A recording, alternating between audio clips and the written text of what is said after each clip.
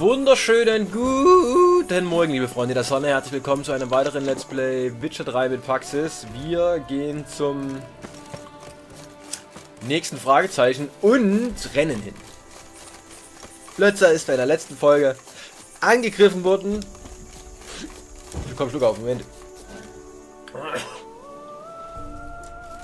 Plötzlich ist bei der letzten Folge angegriffen worden. Aufgrund meiner Nachlässigkeit wurde er von riesen Tausendfüßlern angegriffen und deswegen soll er, jetzt, soll er sich jetzt erstmal... Oh, rechts sind ganz viele Gegner. Soll er sich jetzt erstmal ausruhen und ich sehe schon den nächsten Gegner, wie es aussieht. Ein Gabelschwanz, oder? Verlassene Städte. Oh nein, Schluck auf, geh weg.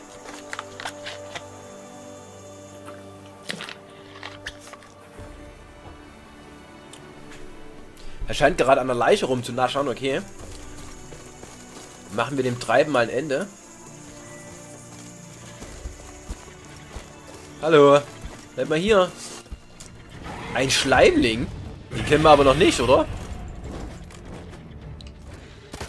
Warum heißt denn der Schleimling? Macht der Schleim? Oh, der kann Feuer spucken. Oh, und er kann ziemlich durchdrehen. Ja, treffen wir den jetzt mal, oder?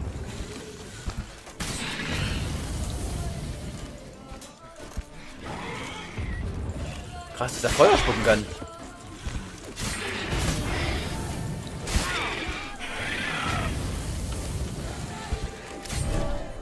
Ah, ich glaube, das war ein direkter Tod. Stark. Ich weiß nicht, ob da immer diese Zeit so bekommt. Ich glaube nicht. Ach, es war eine verlassene Stelle, stimmt. Gar nicht daran gedacht. So, das können wir jetzt auch wegdrücken, Mist. Ist immer das gleiche. Ja. Hallo? Also.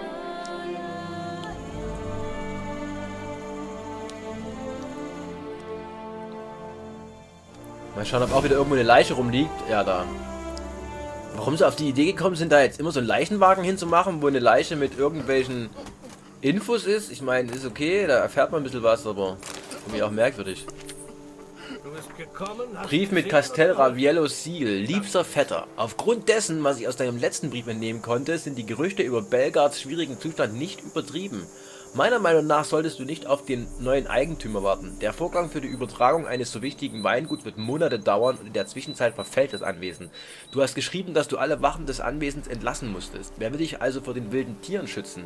Du weißt genau, wie viele sich von ihnen im Caroberta-Wald herumtreiben. Sie könnten dich jederzeit angreifen. Ich mache mir Sorgen um dich. Ich habe schon mit Meister Fabrizio gesprochen und er denkt, dass ein so fähiger Verwalter wie du hier schnell Arbeit finden wird. Hör also auf, den Helden zu spielen und komm zu mir.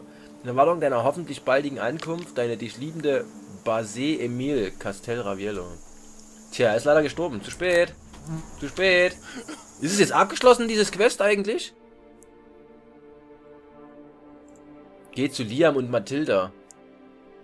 Nee, es ist noch nicht abgeschlossen, weil wir müssen erst zu Liam und Mathilda nochmal ein letztes Mal reden quasi. Okay. Finde ich ein bisschen merkwürdig, aber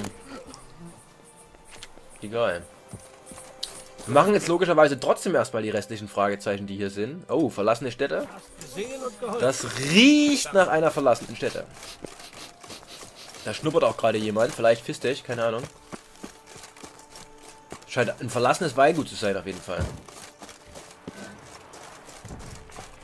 Ja, verlassene Städte, war ja klar. Und was ist der Gegner? Mal, also hier gibt es irgendwie dagegen gibt es viele Tausendfüßler, wie es aussieht. Beziehungsweise Riesentausendfüßler.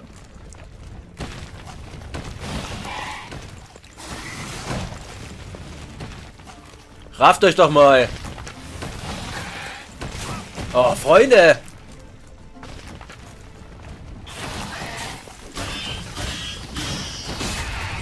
Oh, oh, oh, oh, oh, oh, fast tot. Aue.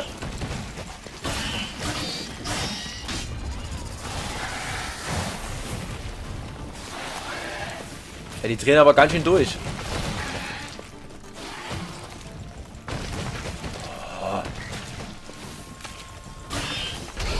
Also. Das sind drei? Oh Gott, ich wollte gerade sagen, wenn man hier mal, wenn man davon mal vier oder fünf auf einmal hat, dann wird es ein richtig krass schwerer Kampf.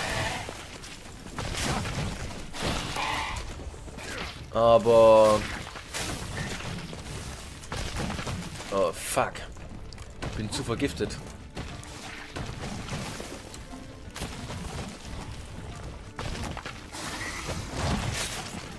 Aue. Muss mal ganz kurz weg hier, Freunde.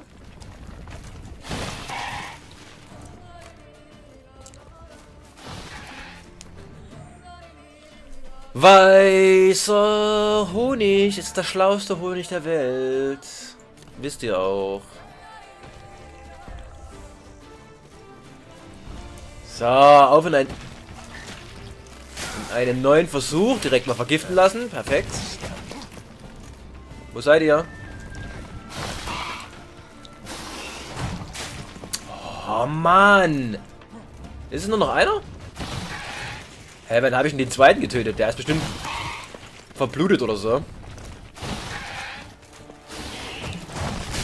Oh, mach doch mal einen anderen Angriff.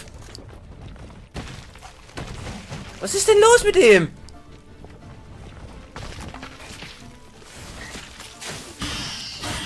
Oh fuck, bin ja schon wieder fast tot.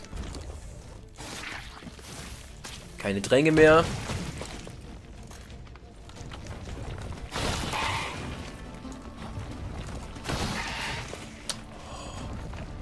Alter, der hört aber auch nicht auf. Ah, oh, es war ein direkter Tod. Sehr gut. Freunde, Freunde, Freunde. So, jetzt springen wir wieder. Muss ich direkt wieder meditieren.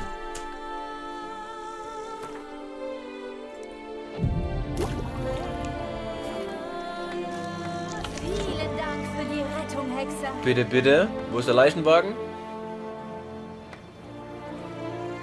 Hä? Mir läuft der Schweiß zwischen den Arschbacken runter. Scheiße, hat das Meditieren den Leichenwagen vielleicht? Ach, gesund Ich weiß nicht, ob der, ich weiß nicht, ob an diesen verlassenen Städten dieser Leichenwagen immer da bleibt. Oder ob da eben nur kurz nachdem man die besiegt hat, da ist und verschwindet, sobald man wieder meditiert oder so. Das halt nicht die ganze Zeit da ist. Das könnte sein. Scheiße. Dann habe ich vielleicht gerade den Leichenwagen verpasst. Hm. Egal. Geht auch ohne. Oh, hier ist eine Kräuter, ein Kräuterkundler oder sowas. Ach, das ist die Frau, die sich bedankt hat. Ich bin aber auch blöd. Gar nicht gemerkt. Beim hüpfenden Majoran. Wir sind gerettet. Mein Held.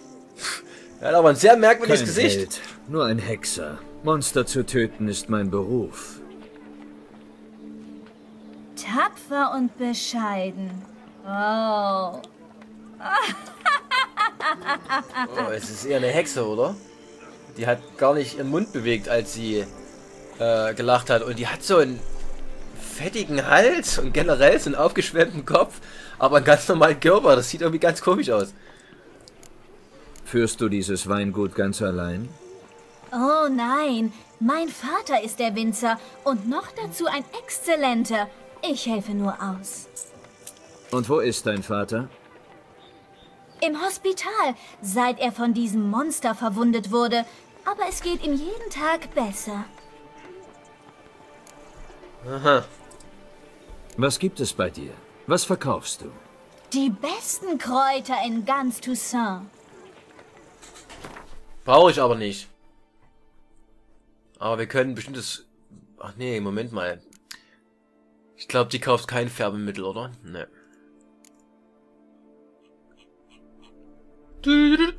Was? Wir haben fast 50.000? Okay, krass. Wir brauchen eh kein Geld. Sorry, ich brauche nichts davon. Bis dann. Bitte schau vorbei, wenn du in. Ja, ja. Sorry, aber ihr Kräuterkündler, er verkauft einfach den billigsten Scheiß überhaupt, weil man kann es erstens selber sammeln, man hat es tausendmal im Inventar und selbst wenn man total Trank und Essenz und absurd verrückt wäre, würde man trotzdem nicht so viele Kräuter brauchen, dass auch nur ansatzweise die Menge an Kräuterkundlern gerechtfertigt ist, die hier quasi unterwegs sind in dem Spiel. Braucht ihr einfach nicht. Und dann, wenn man dann doch diese, diese äh, Sachen braucht für einen Drang, für einen Absud, für irgendwas, ne, diese speziellen, dann kriegt man die natürlich nicht beim Kräuterkundler, weil sie entweder zu selten sind oder von Kräuterkundlern gar nicht verkauft werden, obwohl sie für sowas gebraucht werden. Total blöd auf jeden Fall. Aber egal. Was haben wir denn dieses Mal? Bewachter Schatz? Ich bin einfach so gut, oder? Wie es einfach immer direkt im Vorher... Vornherein weiß... Aber... Was die... Was da auf uns wartet. Komm her, Bogenschütze. Du musst leider zuerst sterben, weil du am meisten rumnervst. Und halten und kämpfen.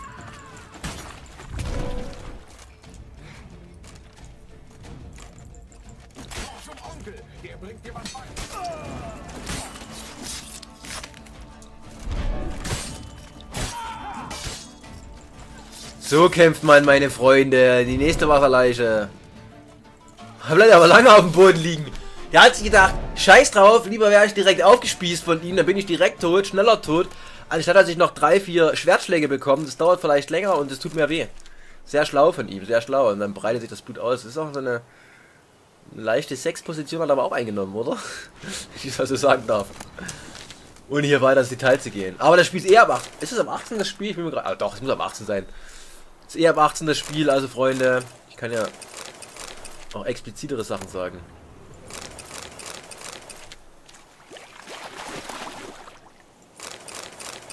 Die scheinen gerne dieses Baguette mit der Fischpaté zu essen.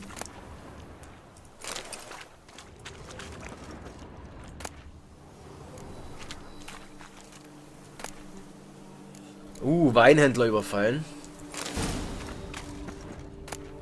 Arnold Epp, Blums Tagebuch. Ah, das ist das. Krass. Wo wir in der letzten Folge den Verrat von dem Gärtner mitbekommen haben. Genau diese Lieferung wurde überfallen. Das Tagebuch ist mit getrocknetem Blut bedeckt, nur von den letzten Einträgen sind einige leserlich. Ich glaube nicht an Zufälle, das wäre ein Luxus, den sich der Kommandant der kaiserlichen Botschaftswache nicht erlauben kann. Die Karawane mit dem Wein für den Kaiserhof wurde im Herzogtum überfallen und ausgeraubt. Schon die Weinfässer selbst sind eine Kostbarkeit. Doch außerdem reiste der Untersekretär mit, der für die Rückgabe der übrigen operativen Ressourcen der Botschaft verantwortlich war. Mit anderen Worten, die Florin, die dafür vorgesehen waren, politisch für guten Willen zu sorgen, kehren nicht in die Schatzkammer des Kaiserreichs zurück, sondern sind jetzt in den Händen von Banditen. Wie konnte ich einen so wichtigen Transport nur ohne angemessene Sicherheitsmaßnahmen lassen? Das wird in der Hauptstadt nicht gut ankommen. Und der Gipfel ist, dass diese impertinenten Landeier von der Herzogswache die Frechheit besaßen, anzudeuten, dass jemand in der Botschaft die Banditen über Zeitpunkt und Route des Transports informiert haben muss. Ich würde eher erwarten, dass es jemand von der Wache war. Andererseits vielleicht auch nicht. Diese Idioten finden doch ihren eigenen Hintern nicht mal dann, wenn sie eine Karte haben. Die Lösung liegt auf der Hand. Ich werde die nächste Karawane persönlich bis hinter die Grenzen von Toussaint eskortieren. Tja, aber leider hat das auch nicht gereicht. Aber schon krass, dass diese dummen Banditen, die ja total lächerlich waren, Elitekämpfer und so einen Kommandanten ja platt machen konnten. Das verstehe ich nicht richtig. Wohin jetzt? Weiter dem Fluss entlang. Äh, den Fluss sage ich schon, ist ja ein See. Brauchen wir gar nicht markieren, das kriegen wir auch so hin. Wir sind nämlich richtig cool und Gangster, weil wir nämlich gar nicht markieren.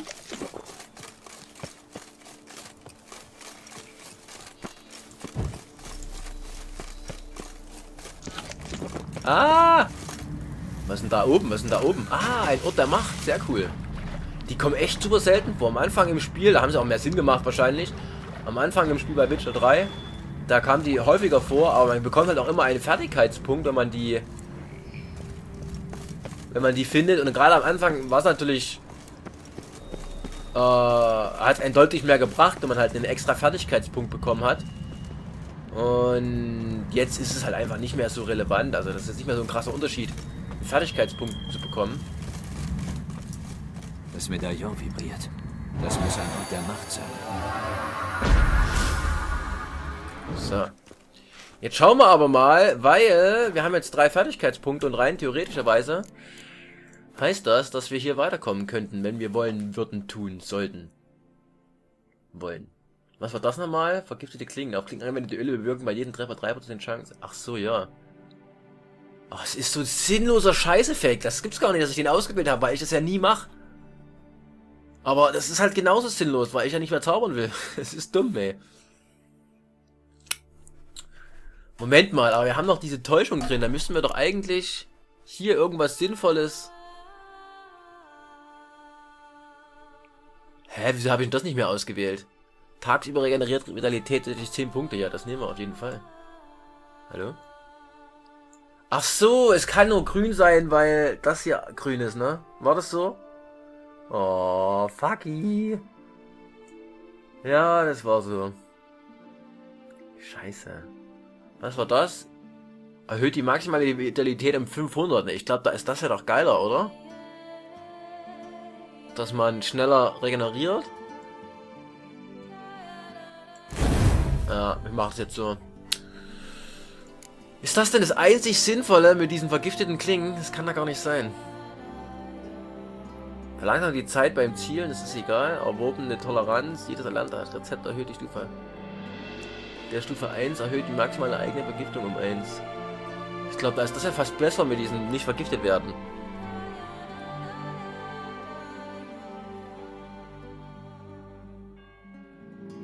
Von 75 auf 80 Prozent, das ist aber eigentlich auch egal. Wobei 0, 0 von 5, das heißt, das könnten wir auch anständig aufbauen. Also entweder nehmen wir erworbene Toleranz.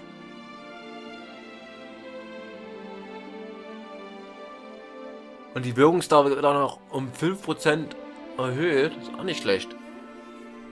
Ha. Huh. Klar, dann nehme ich das hier. Aber erstmal gucken, ob wir die drei Fertigkeitspunkte jetzt hier hierfür brauchen. Also. Hier bräuchten wir drei große Mutagene. Das ist egal, können wir eh nicht machen. Hier bräuchten wir... Das brauchen wir eh nicht. Wirken davon 1,5% pro Punkt einer Toxizitätsstufe auf den, auf den Gegner. Derzeit 1,5 bis maximal 150%. Okay. So, wir könnten jetzt Euphorie machen. Dafür brauchen wir 3 von 5. Okay, jeder Toxizitätspunkt erhöht Schwertschaden und Zeichenintensität um 0,75 bis maximal 75%. Jeder Toxizität. Ja, man ist ja fast immer getoxi getoxiziert, oder wie auch man das nennen möchte. Ich glaube fast, das nehme ich, oder? Was kommt dann da raus? Jeder Adrenalinpunkt verringert den erlittenen Schaden um 15% bis maximal 45. Oh, das ist auch nicht schlecht. Mutierte Haut. Katzenaugen. Der Armbrustschaden ist jetzt von auf 906 Punkte erhöht. Werder hängt von der verwendeten Armbrust ab und die Chance auf einen kritischen Treffer ist um 50% erhöht. Armbrustbolzen durchschlagen den Gegner und werfen ihn um oder betäuben ihn. Gegner, die bei voller Vitalität getroffen werden, verlieren. Was ist denn das für ein krasser Effekt, ey? Was ist das dann? Metamorphose. Werden kritische Effekte auf den Gegner angewendet, wird ein zufällig ausgewählter Absud 120 Sekunden lang ohne Toxizitätskosten aktiv. What? Die maximale Anzahl von Ak Absuden, die dank der Mutation gleichzeitig aktiv sein können, beträgt 3. Mit Hilfe deiner Hexensinn kannst du an dunklen Orten besser sehen. Krass. Ja, nehmen wir auf jeden Fall das jetzt hier. So schade, dass man immer nur eins auswählen kann, aber ich denke, das macht schon mehr Sinn, die Euphorie. So, und dann, wenn ich weitere fertig... Ach so, was kostet denn jetzt rein theoretischerweise das? Ach, da brauchen wir das auch, oder was? Scheiße, ich dachte, das ist egal, dass man von irgendeiner Seite ran könnte. Boah, das dauert ja dann ewig, bis wir da hinkommen. Ich überlege halt gerade, ob es dann vielleicht sinnvoller wäre... Nee, ich glaube nicht, egal. Egal, komm, wir gehen erstmal weiter. Ich glaube, das ist dann der letzte Fragezeichen Ort hier. Auf der Seite. Und dann haben wir noch einen auf der anderen Seite, dann haben wir es hier geschafft.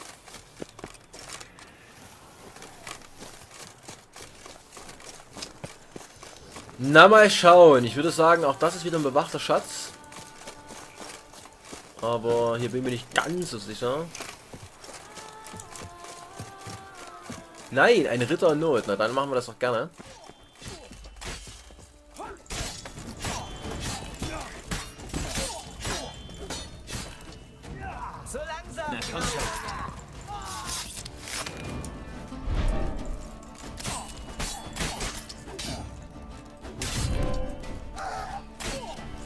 Das war's. Der fahrende Ritter ist gerettet. Mal wieder.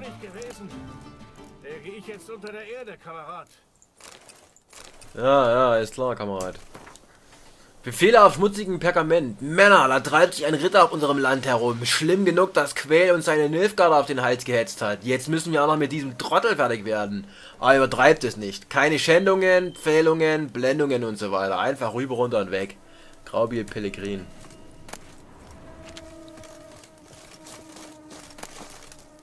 Baguette mal wieder. Keine Ahnung, was. Erwächt dich erst beim Dreck. Ja, mein Herr. Erwächt dich erst beim Dreck die Hände, sehr schön. Es da drüben ist übrigens Wasser. billig, Hexer, dass du dem Ruf der Herzogin gefolgt bist. Naja. Verbranntes süßes Brötchen. Ich kann mich nicht daran erinnern, schon mal ein verbranntes süßes Brötchen Es gefunden zu haben. recht und billig, Hexer, Ah ja, ist schon klar. dass du dem Ruf der Herzogin gefolgt bist.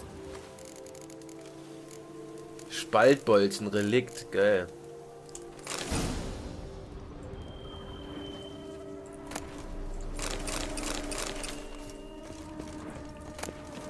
Wie wir einfach nie diese Fässer nutzen, wirklich nie. Ohne Übertreibung, wir nutzen die nie. Wir haben die, glaube ich, noch kein einzige. Also klar, die sind schon mal explodiert in dem Kampf, aber immer aus Versehen. Wir haben die, glaube, ich habe die im kompletten Witcher 3. Wir haben übrigens über 200 Stunden mittlerweile gespielt, also Witcher 3 inklusive Blood and Wine und äh, Heart of Stone. Also inklusive den, den Expansion Packs haben wir schon über 200 Stunden Witcher 3 gespielt.